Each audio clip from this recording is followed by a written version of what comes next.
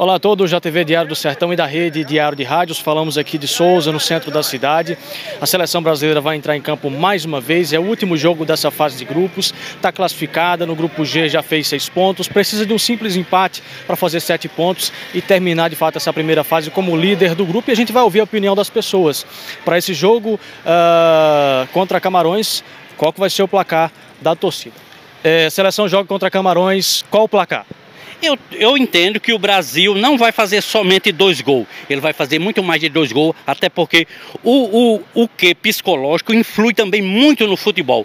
É uma, uma seleção que já está classificada, não estou dizendo que ela é a melhor entre todas, mas que ela já desponta entre uma das que vai. A, a própria imprensa inter, internacional já disse que o Brasil é um dos candidatos a chegar nas finais, e eu fico muito feliz, não por ser do Brasil. Se ela tivesse no nível inferior, eu haveria de dizer, ela não está bem, porque a verdade verdade, João 14, 6, parágrafo B, a verdade é Cristo. Você tem que dizer a verdade como ela é. Parabéns para o treinador Tite e os demais comandados dele, viu, meu amigo? muito obrigado, Girolamo, pela sua participação.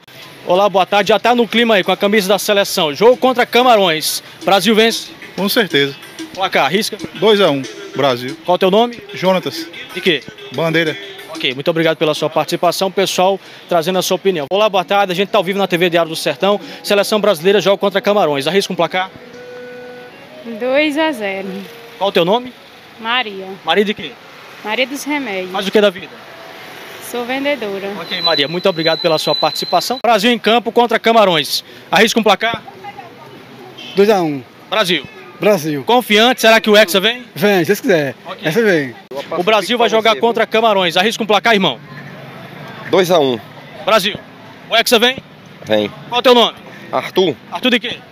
Arthur Alves Danta. E as camisas, está saindo bastante? Bastante. Okay. Graças a Deus.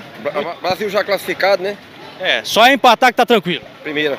Ok, muito obrigado pela sua participação. Tá aí, pessoal. Algumas pessoas trazem a sua opinião, outras já não falam.